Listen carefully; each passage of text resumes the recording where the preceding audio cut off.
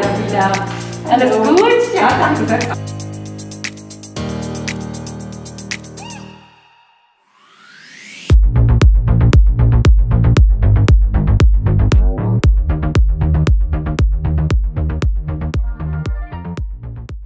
Mein Name ist Anja Paschen, ich bin Kinderkrankenschwester und Still- und Laktationsberaterin und arbeite als Stillbeauftragte in einer großen Klinik in Düsseldorf. Ist das Stillen wichtig für Mütter? Das Stillen ist sehr wichtig für Mütter, weil Stillen macht so viele Sachen einfacher. Die emotionale Bindung ist gut, Mutter und Kind sind gesünder, also es hat wirklich sehr viele Vorteile. Kannst du ein paar Vorteile nennen? Zum Beispiel sind die Mütter gesünder, Frauen, die stillen, haben nachweislich deutlich weniger Brustkrebs, Eierstockkrebs, Gebärmutterhalskrebs, ist deutlich weniger bei Frauen, die gestillt haben. Die emotionale Bindung ist einfacher, weil das Baby im Hautkontakt einfach bei der Mutter gute Hormone auslöst. Es wird das Oxytocin ausgelöst, das Liebes- und Bindungshormon. Und das macht auch Bindungsverhalten, gerade im frühen Wochenbett, so viel einfacher. Ist eine Mutter, die stillt, gelassener? Eine Mutter, die stillt, ist gelassener. Da muss ich wieder auf die Hormonlage zurückkommen. Gerade das Baby im Hautkontakt oder auch beim Stillen löst bei der Mutter Hormone aus, die gelassener machen. Frauen, die stillen, können schneller wieder einschlafen, sind nicht so anfällig für Stress. Also die Natur hat sich da schon was richtig Gutes bei gedacht bei dem Stillen. Senkt das Stillen das Risiko von Krankheiten für die Mutter? Ja, Frauen, die stillen, sind in vielen Belangen deutlich gesünder. Brustkrebs, Eierstockkrebs, Gebärmutterhalskrebs ist deutlich geringer. Ähm, Die Gefahr, dass Frauen später nach der Stillzeit an Diabetes erkranken, ist deutlich gesenkt. Osteoporose nach den Wechseljahren ist deutlich geringer, wenn Frauen gestillt haben. Also Stillen ist nicht nur für den Moment nach der Geburt eine tolle Sache, sondern auch eine gesundheitliche Investition für die Frau, auch für die Zukunft. Fühlt sich das Kind durch das Stillen bei der Mutter geborgener? Ja, das muss ich auf jeden Fall sagen. Kinder, die bei den Müttern im Hautkontakt sind, fühlen sich geborgener, weil gerade dieses Haut zu Haut ist das, was Kinder einfach wollen. Ein Baby im Hautkontakt kann seine Mutter sehen, riechen, schmecken, fühlen. Es ist fast so ähnlich wie im Bauch der Mutter. Kinder fühlen sich wie zu Hause. Hat das Stillen gesundheitliche Vorteile für das Baby? Das Stillen hat für das Baby sehr, sehr, sehr viele gesundheitliche Vorteile. Gerade für die ersten Tage, da wird ja das Kolostrum produziert, das ist die sogenannte Vormilch. Da hat das Baby im Endeffekt einen sehr guten Immunschutz, der ein Leben lang anhält. Die Entwicklung des Darms ist deutlich besser. Kinder, die gestillt werden, haben deutlich weniger Neugeborenen-Gelbsucht.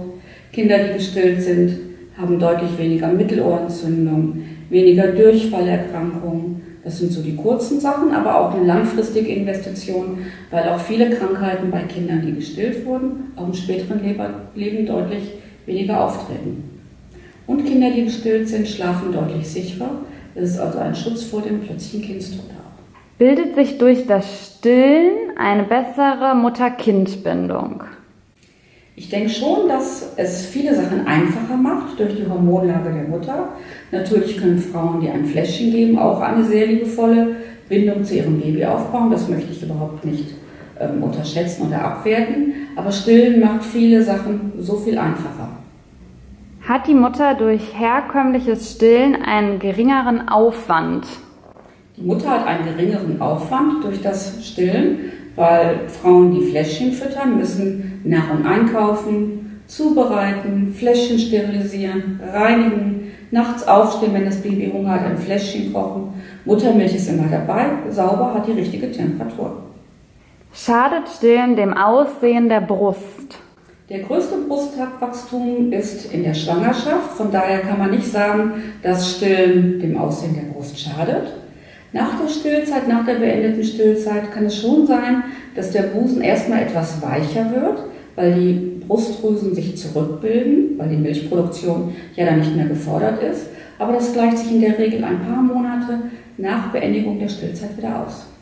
Welche Probleme können beim Stillen auftreten? Es kann zum Beispiel sein, dass die Brustwarzen etwas rund werden. Das kann ein Problem sein, was beim Stillen auftritt. Es kann sein, dass es zu Milchstau, Brustentzündungen kommt. Aber wenn Mütter gut informiert in die Stillzeit reingehen, kennen sie die frühen Symptome und können dann sich auch direkt Rat und Hilfe holen. Hilft Stillen bei der Gewichtsreduktion nach der Geburt?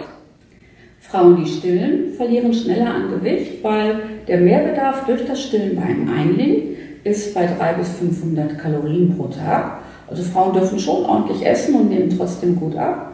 Und was das Schöne ist, früher gab es immer so Stilldiäten, die werden heute gar nicht mehr empfohlen. Frauen, die stillen, dürfen im Prinzip alles essen und trinken, da gibt es nur ganz wenige Ausnahmen.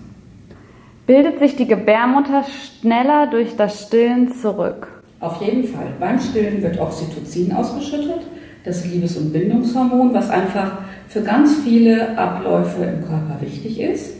Wenn das Baby an der Brust trinkt, sorgt das Oxytocin dafür, dass die Gebärmutter sich immer so ein bisschen mehr zusammenzieht und dadurch ist die Rückbildung der Gebärmutter auch vereinfacht. Gibt es einen wertvollen Tipp, wenn das Stillen jetzt nicht richtig klappt, den man als Mama einbeziehen kann, gerade in der Anfangsphase? Ja, es gibt mit Sicherheit gerade in den ersten Tagen sind viele Mütter so ein bisschen überrascht über die häufige Frequenz, also wie oft das Baby stillen möchte. Und dann finde ich es einfach total gut, wenn der Vater mit einbezogen wird. Eine Mutter ist mit dem Baby ja oft nicht alleine, die Männer haben Urlaub, dass man dann auch mal sagt, so Papa, das ist jetzt mal dein Baby, beruhigt das Kind mal, dass ich mal in Ruhe duschen und zur Toilette gehen kann und danach sieht die Welt meistens immer schon viel besser aus. Kommt es vor, dass es bei Müttern nicht klappt, dass sie stillen können? Es gibt auch schon mal Mütter, wo es einfach anatomische Probleme gibt oder es gibt auch Frauen, die sich ganz bewusst gegen das Stillen entscheiden. Das finde ich eine ganz legitime Sache. Das ist das Recht der Frauen, das zu entscheiden. Und dann gibt es einfach gute Möglichkeiten, auch das Baby mit einer Formularnahrung zu füttern. Oder Frauen, die auch sagen, sie möchten nicht stillen, können vielleicht das Kolostrum, die Vormilch, die sich in der Schwangerschaft bildet, dem Baby für 24 Stunden geben, dann die Abstilltabletten nehmen, dann das Baby mit Formularnahrung füttern. Aber auch die 24 Stunden, die das Baby die Vormilch bekommen hat, sind ein großer gesundheitlicher Benefit für Mutter und Kind. Hast du drei wertvolle Tipps zum Stillen für Mütter? Ich denke schon, dass äh, drei wertvolle Tipps sein könnten. Informiert euch einfach gut über das Stillen schon in der Schwangerschaft, damit ihr einfach schon so ein paar Sachen wisst. Das finde ich ganz wichtig. Das zweite, lasst euch genug Zeit nach der Geburt, um euer Baby kennenzulernen.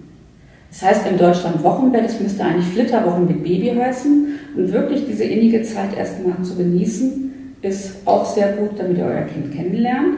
Und als drittes, holt euch Hilfe früh genug, wenn Probleme auftreten und wartet nicht, bis es zu großen Problemen kommt.